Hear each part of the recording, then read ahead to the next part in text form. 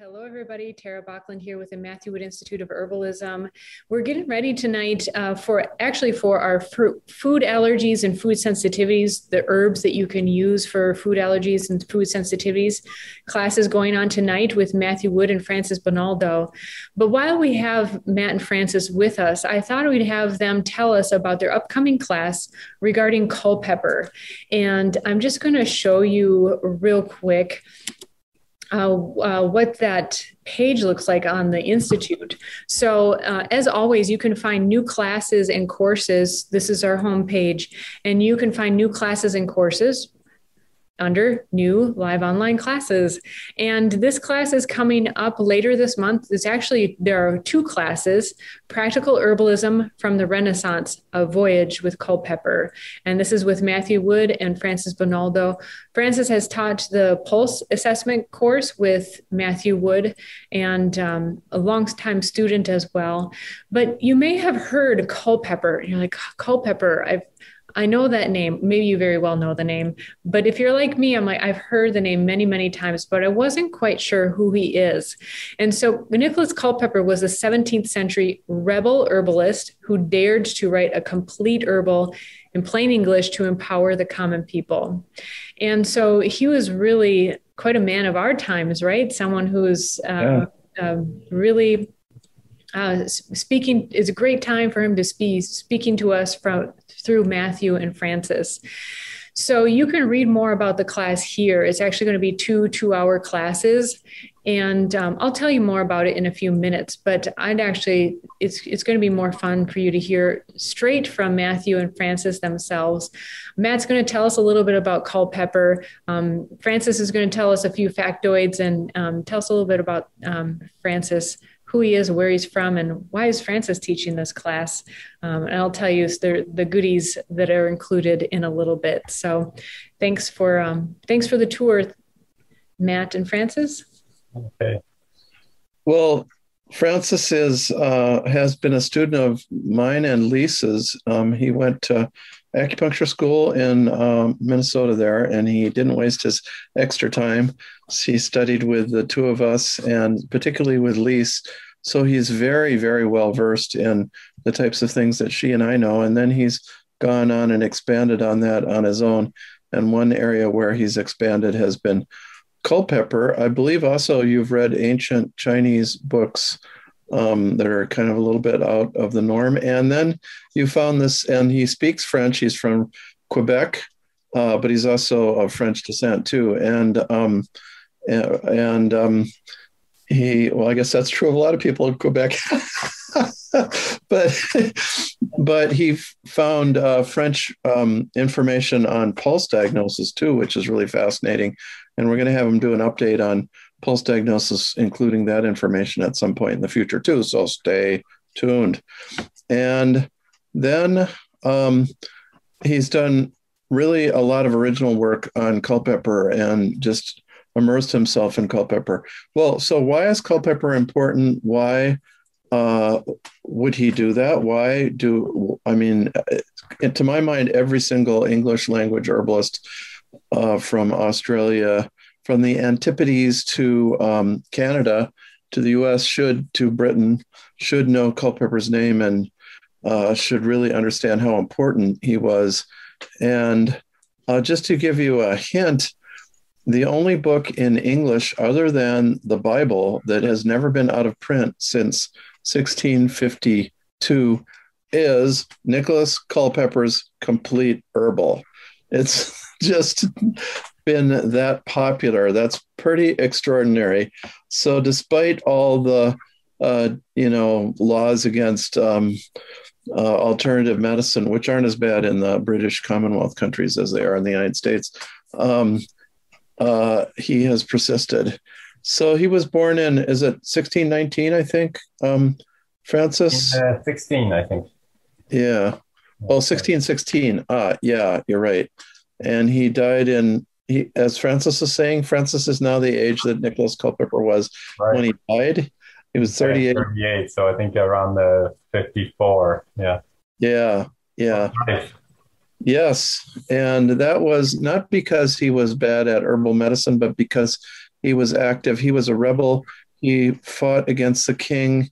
He was uh, shot and wounded at Naseby, the Battle of Naseby, which is where the king was overthrown in 1642, and the king was executed in 1644. I don't doubt that if Culpeper had survived until the king was reinstated, the son of the king, that he would have been he would have probably had to flee to France or somewhere or the United States. That would have been kind of fun. I mean, uh, the colonies. But um, he, because he was an extreme radical, really, and he, there's a lot of um, rantings against Catholics, for instance, and uh, Papists, as he would say, and the medical fraternity, um, Doctor Tradition, and so on, that he writes about in his very fun unusual. He's a great writer too. Another reason he's in print. So he uh, he was from he was kind of uh, hmm, second son of uh, you know the Lord level. Actually, his father was more like so. His father was a clergyman. He had a so he was supposed to go to he did go to um, Cambridge and learned Greek and Latin. And then he dropped out. I mean, this is almost unheard of for you know the son of uh, one of these um, yeah. important families like this. To, he dropped out and he finally managed to get his mother to invest the last of his inheritance in becoming an apprentice to an apothecary, which is like going from being a semi the uh, poor cousin of the Lord's to being a you know master carpenter or something. It's like just not. It's really a fall in um, rank. And but it turned out the apothecaries did not know Greek or Latin, and yet the um, English Pharmacopoeia, the London Pharmacopoeia was written in Latin. So he was the only one who actually knew how to read it. And there were about 25 doctors in, in uh, London, and they uh, kept a monopoly on everything. And he translated that, and the king by this point had been executed, and London was kind of under the control of uh, the rabble and uh, eventually uh, Cromwell. And um, so all the copyright laws were all, and anyways, all the copyrights belonged to royalists. So he was able to publish the London Pharmacopoeia without the permission of the physicians. And this was a breakthrough. I mean, this was just everybody could read the Pharmacopoeia now. And that was 1652 and his his herbal came out in 16, 1653 or four. And um, so uh, just before he died. And so he really wanted to bring the herbalism to the common people. And uh, this created a huge split where medicine became it's like, we don't want the herbs. We want to be more and more scientific and refined and use chemicals and everything and let the common people use the herbs. And so that was the beginning of the split. So he empowered the common people with herbalism, but he also helped contribute to that split. We can't blame him because it was really not his fault. It was their fault. Although he egged them on, I would say. Um, so he was uh, incredibly popular as a practitioner in his time. Uh, and some of the, a few of the accounts of the herbs, you really see that, like marshmallow root, you really under, know that he understood that herb in depth. Another thing about him was he was an astrologer and he did do astrological herbalism. And I do have to say, he kind of belittled the Galenic.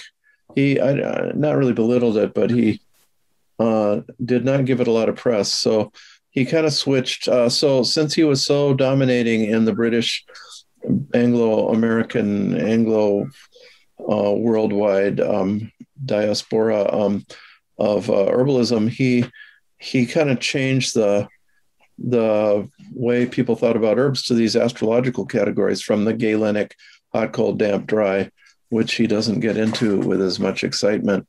Okay. So that was uh, one thing that I would hold against him. I'm going to do a class at some point on on uh, Culpeper's uh, book called uh, "A Key to Ga- of to Galen's Art of Physic" by translate uh, by Culpeper, where he sums that system up. But at any rate, uh, you'll hear more about his fascinating and unbelievable almost history. Sometimes I call him the first hippie. He just was such a complete rebel and I've only told some of the information. And uh, and that time period was like extraordinary. It's personally significant to me. Just this last note, because my father's family were Quakers, and they became Quakers in that period when the king had been deposed, and there was like 20 years of chaos. Uh, and um, they and that, so it's kind of stamped on my family history, and uh, of significance to me. But you'll hear more about that those times uh, later. Now let's hear from Francis, who's really looked in depth and used many of of Culpeper's indications. I have to say I've learned things from him. Plus, he's added he'll he'll add the pulse for sage or something like that, and uh, it fits perfectly with what Culpeper talks about. So, Francis, take it away. hey, thanks, Matthew. Um, yeah, so as Matthew said, uh, Culpeper was a pretty incredible guy for his time, I would say.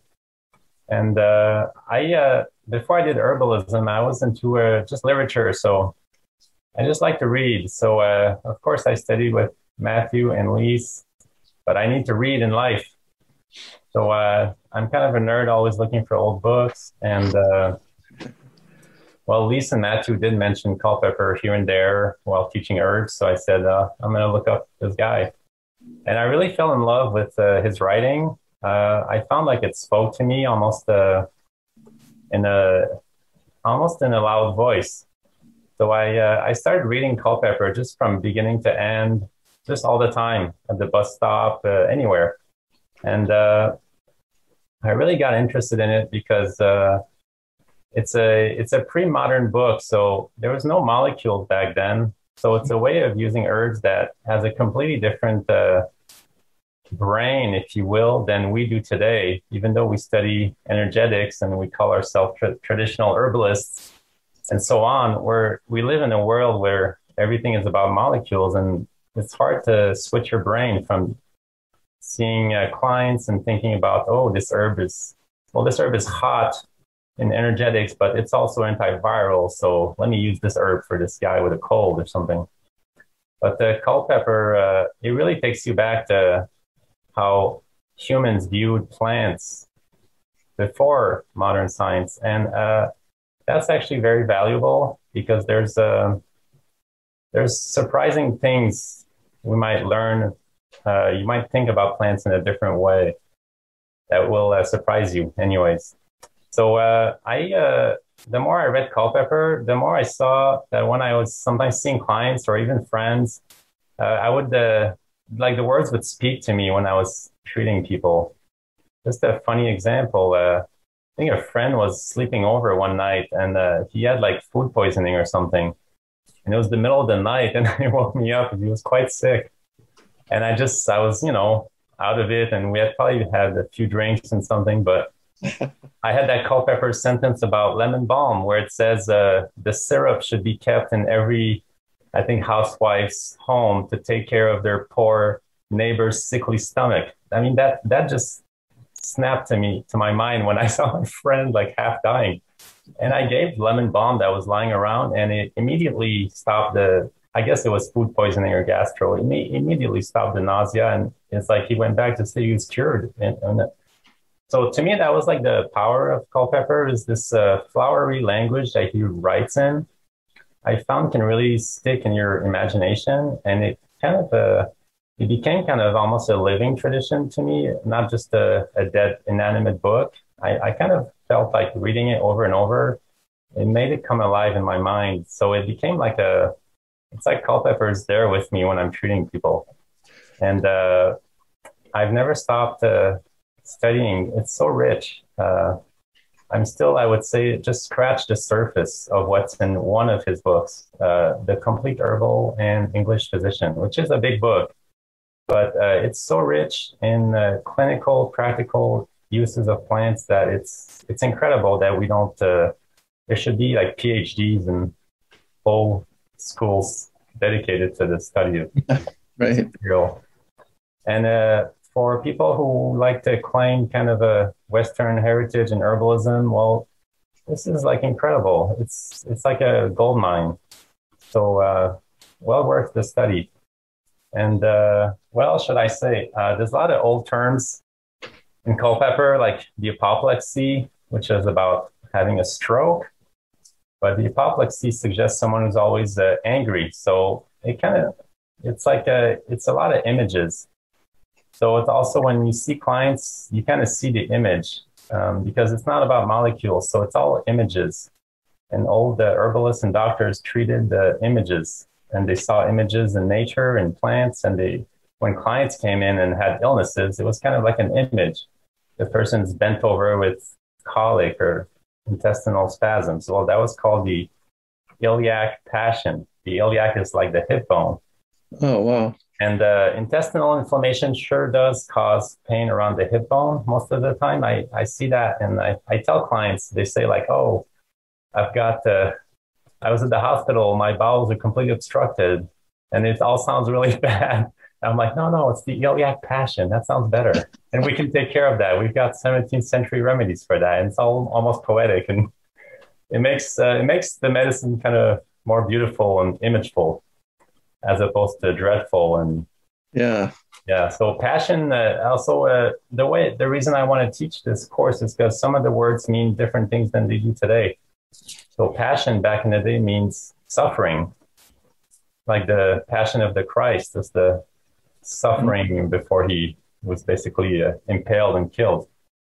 So the passion of the iliac is the suffering of the hip bone or the passion of the heart is the suffering of the heart. Um, so uh, the course will be very much about kind of the language. We'll take some quotes, different quotes that we'll all mostly pick. And uh, we'll kind of uh, look at different herbs and different sentences and quotes that kind of maybe can stick in your in our imagination. So uh, and we owe it to Culpeper because uh, he only lived to 38 years old, and he wrote many books. He had many kids, most of whom died, except one mm-hmm. out of like eight, seven, or some a ridiculous number of his kids died. Yeah. Well, uh, he got shot in the chest, and I think he smoked a lot, so probably didn't help with the healing. well, they thought that smoking was good for um, tuberculosis and chronic diseases, and actually, you know, during the COVID thing, it turned out that smokers actually right. did better than non-smokers. Yeah, so so uh, so yeah, it's uh, crazy. So uh, he really, I think he really, I think he must have worked himself to death in a way to to like put out his work. Yeah. yeah. He, we owe it owe it to him to to continue on his work, and he really meant it to be for the people. So we, as the common people, owe it to him to keep this knowledge alive. So um, yeah, he he also wrote the first book uh, in English in common language on uh, midwifery and was very important there. Yeah. The next, the next important book by Jane Sharp is the first book on midwifery by a woman that's written about 30 years later. And I remember reading in there, he says his wife, every time she got pregnant, they had 10 stillbirths and two live births. Yeah. And um, every time she got pregnant, her kidneys would get hot, he said. So she had a kidney infection and he wasn't able to ferret that out. But but it's interesting seeing some of these case histories and, and things. And there's um, well, there's a good book uh, by Graeme Tobyn. Uh, those of you who can find that, um, the old first edition is usually pretty cheap. Yes. And then there's a second edition, and the difference is mostly in the introduction and uh, it's a pretty good book there and a lot of good pictures. And so it's fun. Yeah. Uh, a lot of the terms for uh, women conditions back then uh, are not so popular today. Yeah. but culpeper seemed to really take care of women. He had lots and lots and lots of remedies to help women with all kinds of issues as i'll try to teach in the class and also, yeah. um, he helped elders a lot. A lot of the remedies are really good for the brain, the aging brain, and the oh. the, the, digestion of ancient people. So, uh-huh. uh, you know, he, he seemed like he really took care of people, women, old people. So, um, you know, that's really, uh, we saw with COVID that women suffered more than anyone else, and old people were left behind. So, Culpeper medicine is it's about the it's about that too. So. Yeah. Also, he records a lot of folk medicine. I began to realize this as I would sometimes read through the book. I haven't read it nearly as extensively as Francis, but I'd be kind of fascinated. And like, so one remedy that's, um, well, it's in the herb shops only because, mostly because we have a Russian clientele. Um, that's, we call it rabbit tobacco in America. That's uh, Helichrysum immortelle mostly Russians and Ukrainians really like that. and um, and the Cherokee and the Southerners, um, USA, use um, rabbit tobacco. But he talks about it. I think he calls it cudweed, and he says the the people in Kent use it for head colds, basically. And so, and I asked uh, one of my herbal cohorts that was in my master's program in England and Scotland in 2002 3 and there who came from Kent and had an herb store there. I said, "Do people use this herb? Still use this herb for for uh, head colds?" And she says, "Yeah, people come in all the time.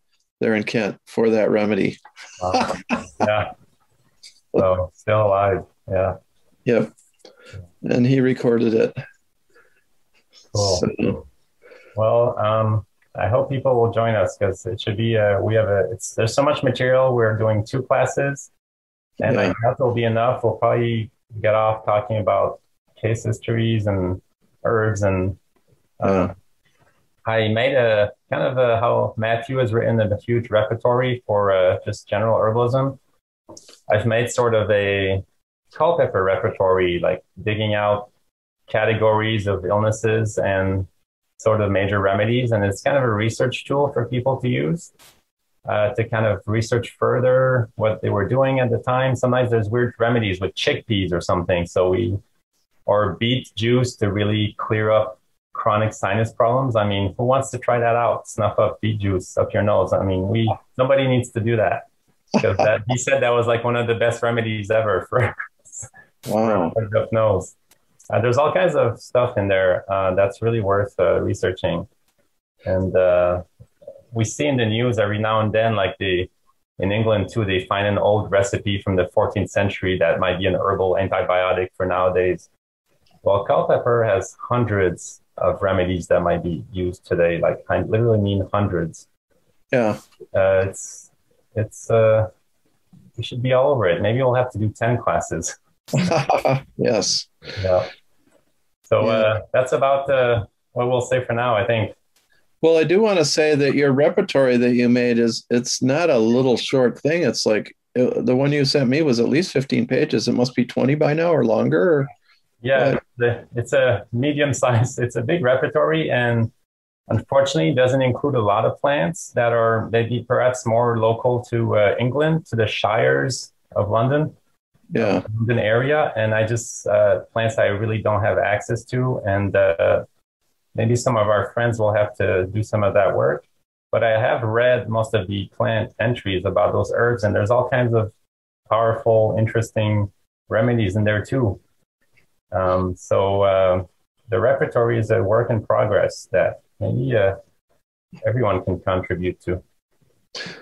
Yeah, and it's quite uh, I mean, it's not a small document, so people should realize there's a lot of practical information in these two. Uh, a and I have not used all of it. I have used a lot of it.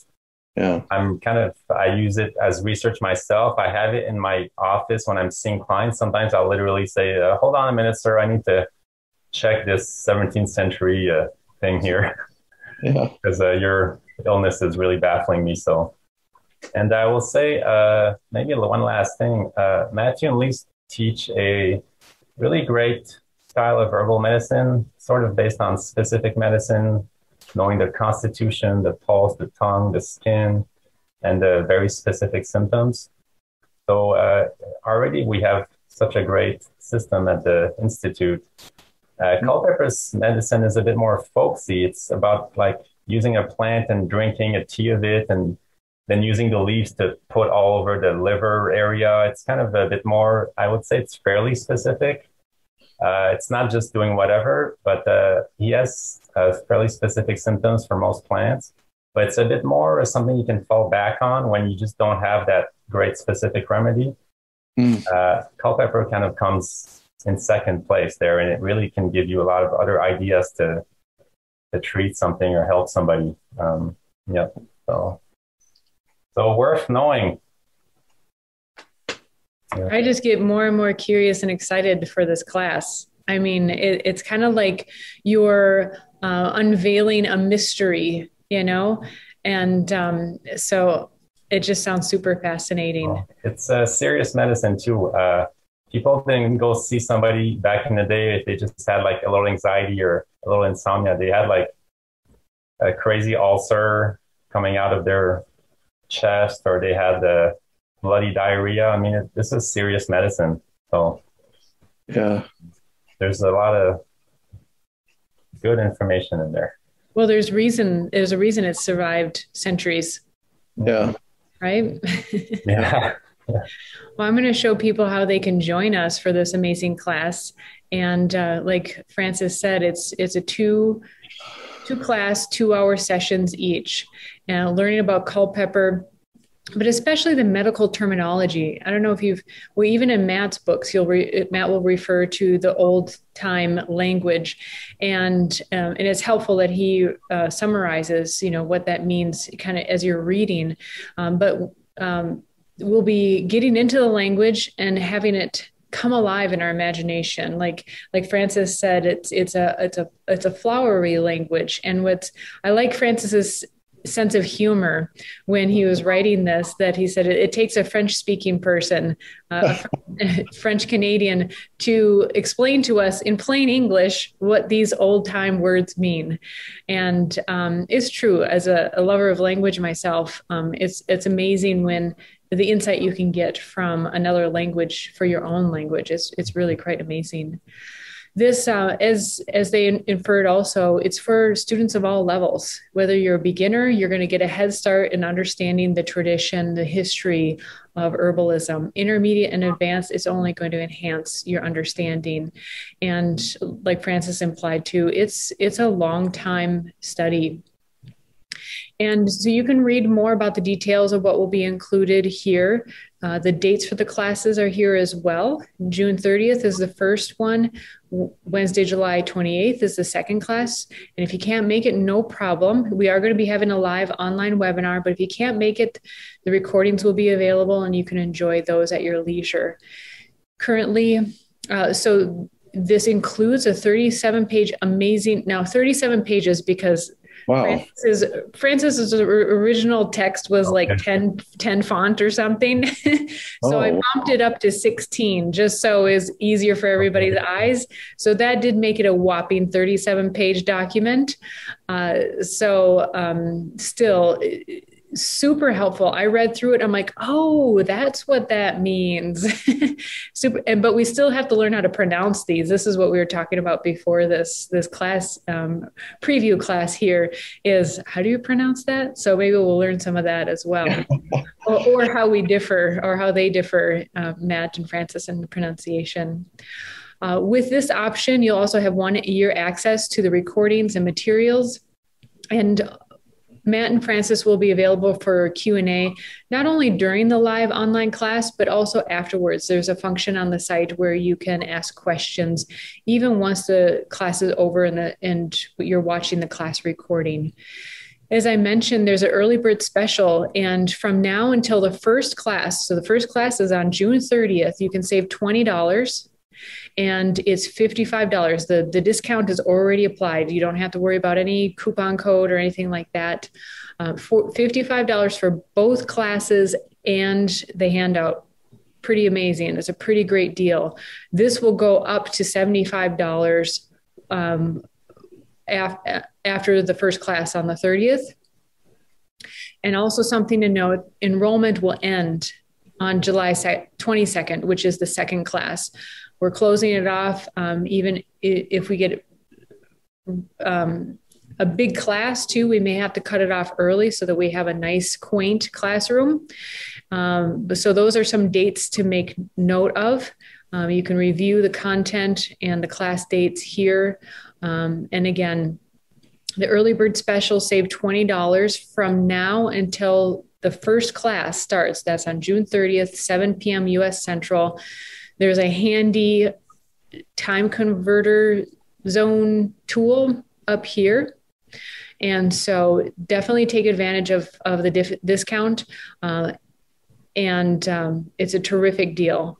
So uh, let's see what else i was going to show you real quick too the, the handout is really substantial is really amazing um, and this will give you a quick tour also of how to find this so all our new classes are always from the homepage. You can find them in the new live online classes. This is the class that's going to be right after uh, this preview promo. But here you go, it's here, but you may be seeing this when it's no longer in the new classes. So you can always search in all courses up here, and you can search herbs, you can search class names, uh, all kinds of stuff. But we're going to search Culpeper, and that will bring up this course, which we're talking about, uh, which will start in a couple weeks here. So that's how you would find that at any point. And then once I've purchased the course, I can go to my dashboard. I'm in my account because I see my account info here. I go to my dashboard and then I start the course. And what I wanted to show you is the handout is really terrific. And this is downloadable. And so you'll learn, uh, and I made the font nice and readable too. So when you print it out, it, you can easily take notes, easily read it. But okay, we're seeing, I'm going through all the common, common words here. Okay, we decided this is og, pronounced ogs. I don't, we'll find out. What are OGs? Alternating fever and shivering fits recurring at regular intervals. Thank you so much, Francis. Now I actually know what that means. Um, it's super helpful. So there's common words too, but like cachexia, how are we pronouncing that? Cachexia is our best guest. Yes. Maybe we'll have a vote. That's, that's still used in medicine. So that is cachexia is correct. I've heard that. Yeah. yeah it is still used. Yeah. Yeah. Yeah. And so this is an amazing handout with definitions and also the remedies, as Francis mentioned that he this has been a, a, a, a research in in progress. So that's definitely something to get started with because download this and check this out before class. Oh. Try some of the remedies out um, obviously that apply with with good guidance and uh, you'll have great questions and be ready for class that starts on the 30th. And that too has the option for discussion and ask questions later as well. So, ciao for now. Adios. adios. Had all kinds of words coming to my mind. Bye, everybody. Yep. Bye. Thanks for joining us. If you are interested in learning more, you can visit our website at matthewwoodinstituteofherbalism.com. You can find all of our social links in the description below. Also, please subscribe to our channel so you can keep up with the latest videos.